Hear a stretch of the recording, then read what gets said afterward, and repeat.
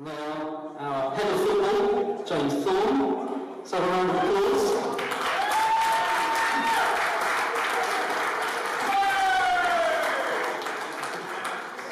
And, of course, our first team head coach, Rossi Eames.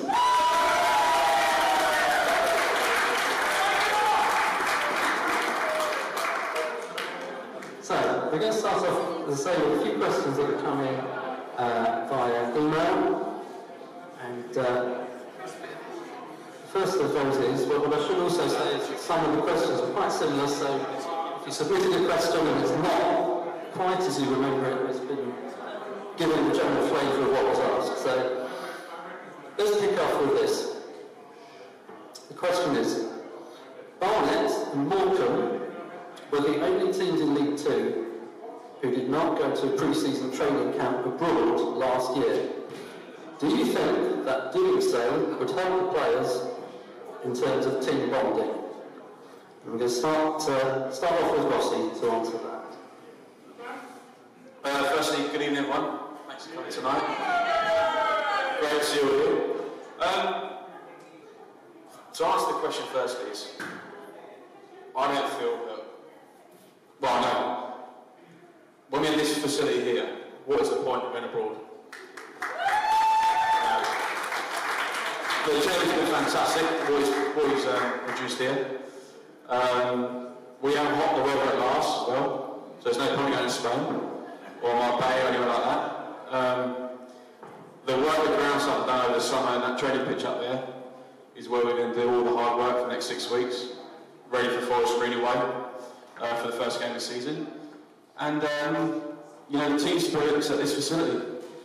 The, the, the, the facility the players have, the gym, the restaurant, um, the training pitch, um, the 3G out there, you know, we're catered here.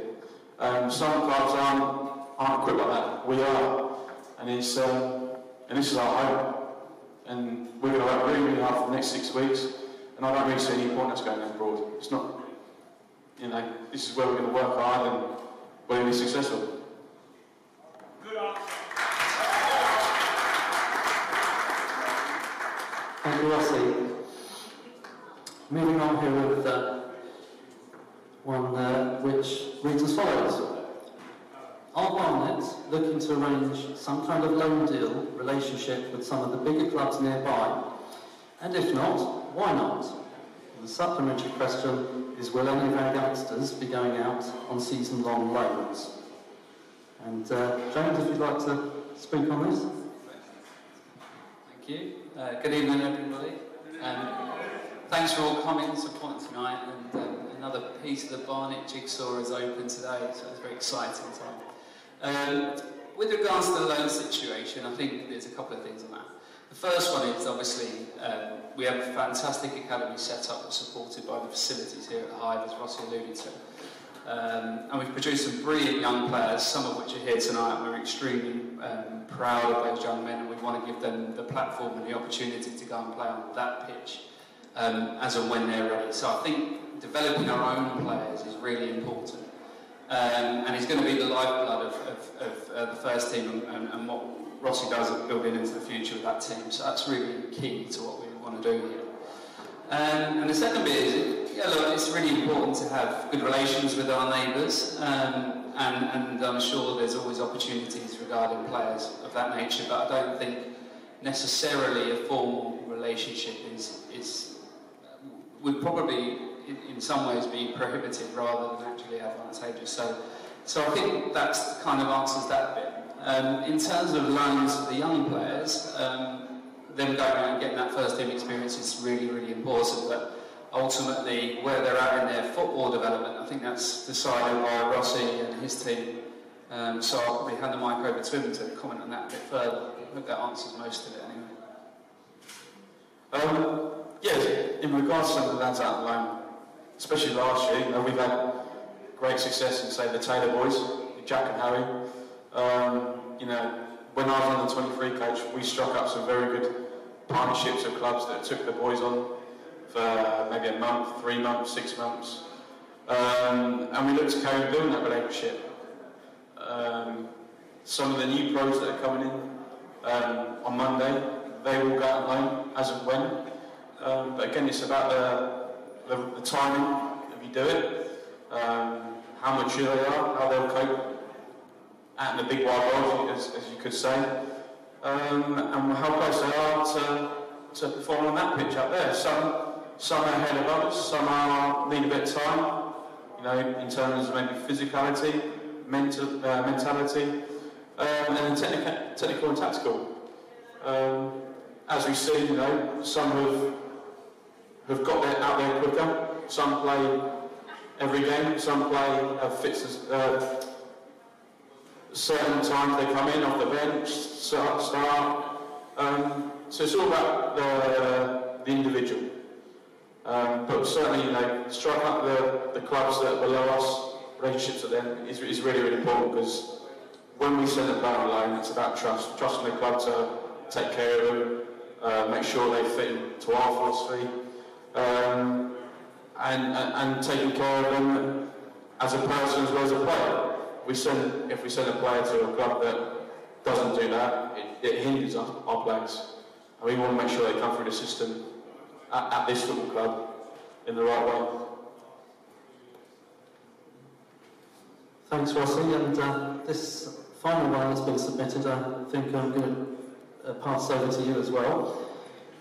Last season, we seemed to get bullied by big physical teams such as Cambridge, Mansfield, and Wycombe. One of the reasons our playoff chances faded. What is our game plan going to be to counter this? Um, a question agreed, did. Um, there's no beating around the bush about that. Um, we had a young squad last year. Um, you know, we had a lot of transition in January. Certain players left, certain players came in, and you know, the, there's a, a, very big base of the squad have been 22 years old, 23, um, and, and, you know, we're, we're looking to address that. Monday, like I said, when the players come in, it's a, it's a new regime. It'll be a lot, lot harder for the next six weeks. Um, and they have to be ready. I certainly um, am always honest. I learn quickly. Everyone makes mistakes, I make mistakes. Um, and, you know, the way we played football in some games last year was excellent. And you have to, in football, you have to learn to win ugly as well as beautiful. Um, and that's the thing, you know, that struck me from some games that we have to learn to win a certain way, and we have to win in a way in which we can see our games, we manage the game well. When you're one nil up, uh, you have to see the game out, and and certainly we'll be very well prepared next year. You know, the boys will be prepared for the next six weeks in terms of different scenarios and games, um, working hard, you know, have that, that, that spirit that's, that's been with us many seasons, a, a spirit that saw us get, got away two years ago from the conference into the Football League. And, you know, I'm, I'm really looking forward to preparing the team in terms of that. We ran our over, over 50s walking football club on a Friday afternoon, and we were one of the most successful sides in this club. Could you give us half hour to train us?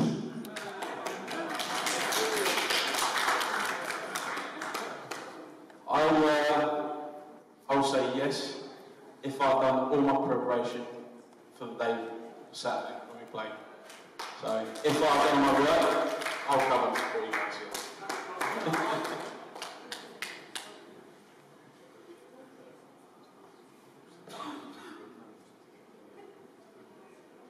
Right, gentleman in the far corner. Okay, we've got one over there, sorry.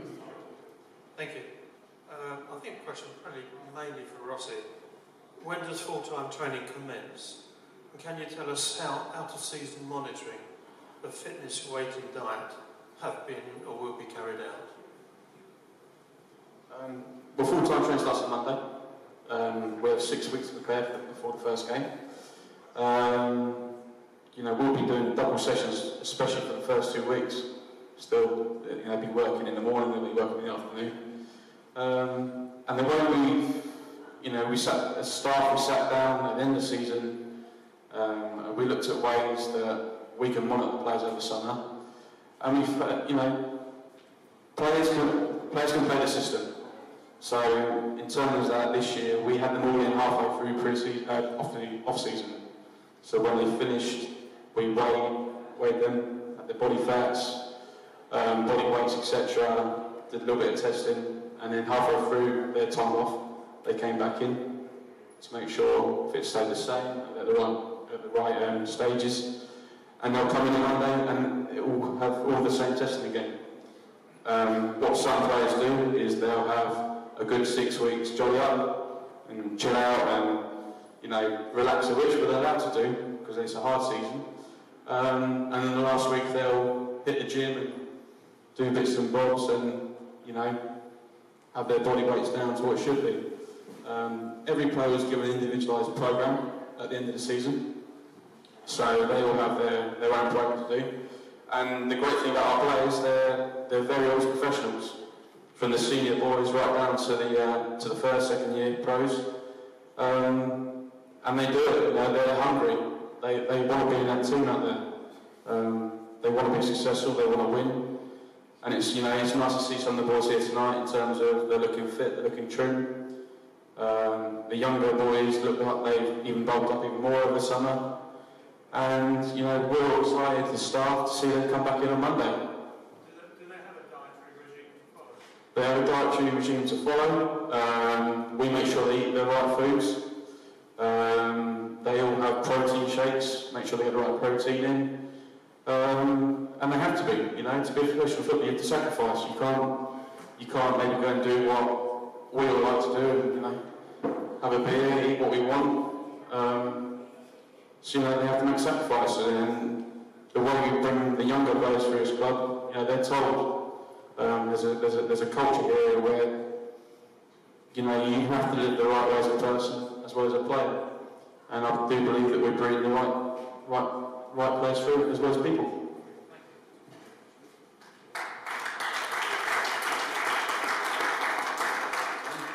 Hi, um, Rossi. Firstly, um, about a year ago, um, I think Martin Allen's done a great job for the team and for the club, and obviously left, but um, I was quite pleased to see you get the job initially and also now, and I think you're going to do a great job for the club. And that's just a comment for you. But my question for James is, where do you see the academy? where do you see the academy going for the next year or so? Oh, what a good question. Um, thanks for that question. It's a good question. Um, obviously, my previous role here was the academy manager, so I'm really, really passionate about it. And um, brilliant thing about Rossi now being leading, leading the first team and, and, the coach instructor overall is that he's passionate about it. Um, the chairman supports the academy and always has from the moment we, we formed it, and we're passionate about producing our own players. We, we believe we've produced some really, really good ones. We believe that we've got some really good ones still in our system. Um, we need to continue that um, system and, and make sure that those players are still there. But what's really important is that Rossi and I, along with the academy manager and the youth team coach and our new under 23 uh, team of coaches that we put together, um, are making sure that we have um, pathways for those players that transition through that academy to end up in a place where, uh, like a couple of players that Rossi mentioned earlier, uh, Jack and Harry Taylor are, um, and there's a number of others underneath, like Anna, Efron, um, who, who, have all been with this football club a long time. Um, so there's some really, really great work going on within academy. We've got some super, super players here, and it's our job and our responsibility to make sure that they continue to develop in the culture in which Rossi described really, really well. Um, but equally, we provide them with the opportunity to get on the grass as and when they're ready, um, and that they can go and make a really significant contribution and not just go out and play good football and, show what they can do, but win. They've got to be winners. Uh, because that's a prerequisite for, for, for the first team is that go, we want to go into Saturday afternoon winning games with our own young players if we can. And I, I don't think there's any reason why we can't do that here. That answered the question.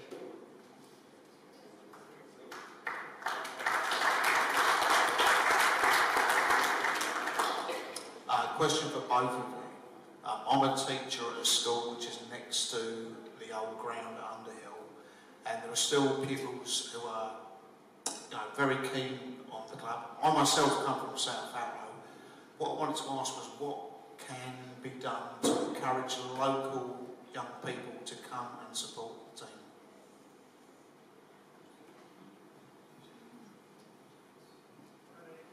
Um, the, the simple question is, have a winning team on the field um, to be successful, to play exciting football.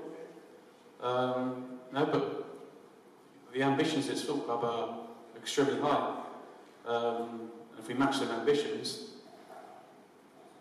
you know, people follow. You know. um, was it the field of dreams? You build it, they will come. I think there's, there's no as they say. Um, and, you know, that exactly what I want to do. I, I, me and James are working really hard behind the scenes to um, one, put a successful team on the field. The other is me to coach it. Um, and if we do that, we should attract, you know, supporters from from other places, um, from Barnet, you know, and, and, and that's what we're planning to do. Yeah, I think I think uh, another great question, and that, that's you know part one. Um, we put a winning team on the pitch, and that, that's that's going to you know we, we want this place to be buzzing. You know, excuse the pun. Um, but equally, you know, we've got a community program run by Stephen Barron who does a fantastic job in local schools. We have a partnership with um, with Canons High School, um, and you know, we, we will we appreciate as well as a, as a kind of leadership team from the football side that, that the better we are able to communicate through our communications team as well and get our messaging out to the local community, the fans, and, uh, and keep everyone updated on what's going on and engaged. I think those things are all key parts of the kind of strategy moving forward. And, and uh, we, want, we want this place uh, rocking, supporting a winning team if we can. That's, uh, that's part of the plan. I think. So we saw at the end of last season we had quite an exciting number of players on the side, and we were one or two players short. Clearly, we've gone through last season without a specialist right back and things like that. So I was just wondering, in ter- terms of how the team's going at the moment, obviously we've got a lot of really good players. We've brought through a number of really good players as well. What sort of plans are in place to bring in those two or three extra players that are really going to take us to the next level? Um, well, myself, myself and James have been day since the, the last kick of the season. Um, we've been working extremely hard behind the scenes uh, with the chairman as well. Um, you know, we're building. You know, he's like I've said in the media lately. He's we have to be a bit patient. Um, as soon as the final whistle goes in the last game, it becomes silly season.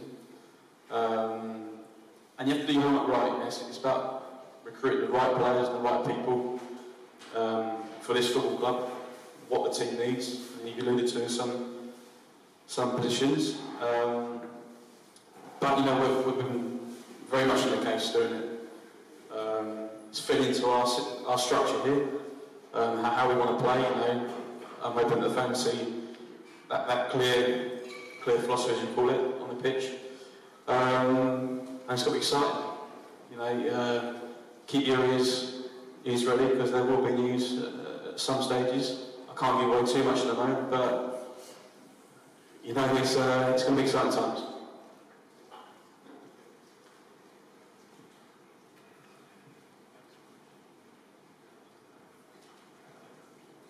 We got some more?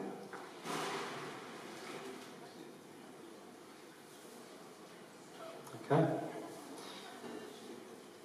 Well, in that case, I'm just going to throw in one more that uh, was submitted wasn't sure if we'd had time for, but uh, it's a fairly straightforward one.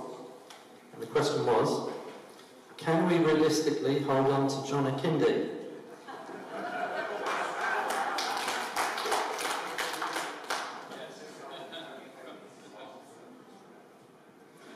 John is very much part of our plans here. Um, he's under contract. Um, I said to a number of night, he's a fantastic person to coach. Uh, he's a fantastic footballer and he's influential in how we want to see it. So, yes.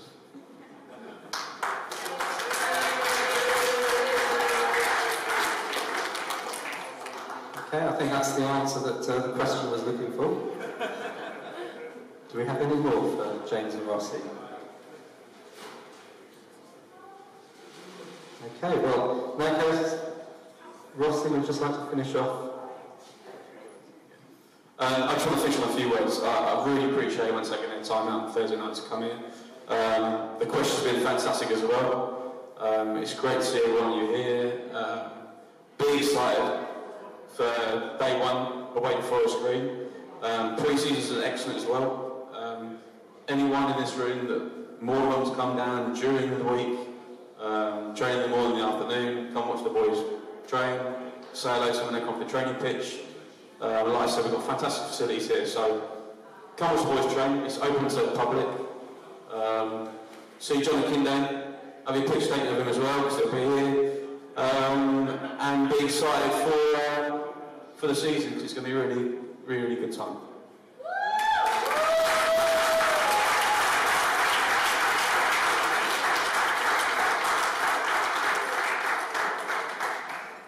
Great, well, thank, thank very much, and uh, once again, thank you for being here. We hope we'll see you here uh, at least 23 times next season, cheering the team on. And once again, a round of applause for Rossi and for James.